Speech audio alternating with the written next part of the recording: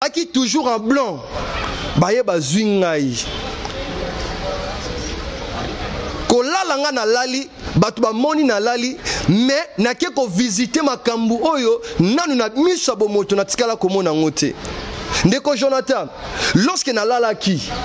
namoni visitation ya Nzambe. elongo na ba ange na ye bisika oyo tokendaki loske bayaki kozwa nga bazotalisa nga makambo mpo na ndeko na biso moko artiste moko na mboka na biso bazoyoka nzembo ya fali ezobeta bato bazoyoka banzembo ya fali ezobeta partout mais place nazalaki nazo se retrouve te nazoyeba te tozalaki wapi nzembo ya fali ezobeta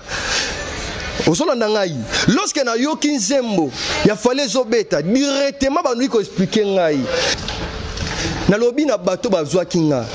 probleme yango kasi eza nini fali asali nini bayebisi ngai totalisaki yo message avant marie misambo akufa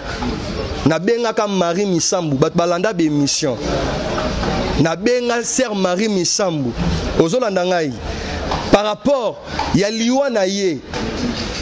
nabenga ndeko marie misambo nalobi ndeko marie nzambe alobi na ngai problème ezoya liboso na yo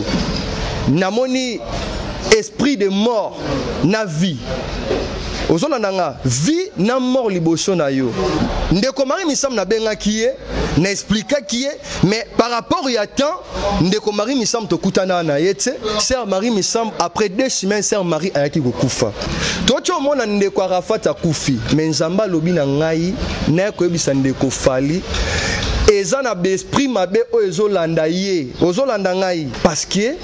pembeni na ye eza na relation moko fali ipupa oti kosala ozolanda nga na otanga kombo te parce que nzambe apesi nga kombo ya moto yango te mais ye nde azolanda nga aoyeba ozolanda ngai eza na barelation moko oyo basali na ndeko wana eloko oyo ekitisa ndeko na biso na se yango wana ndeko fali asala attention parce que toperdre ye ozolanda eloloba na, na, na précision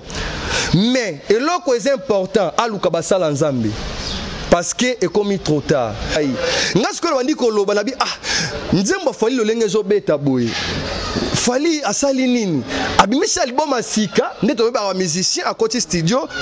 e, abimisi album ya sika mpo ebeta nabandi komipose baquestion kotuna ba ange oyo bazwaki nga bakendaki kovisite nga babandaki kotalisa nga makambo wana makambo oyo tozotalisa yo il faut zonga na mboka ya congo lorsque nazoloba congo nazoloba congo braza te parce que ngai nazala na braza kende na kinshasa kende oleka na baemission kuna mpo opesa message wana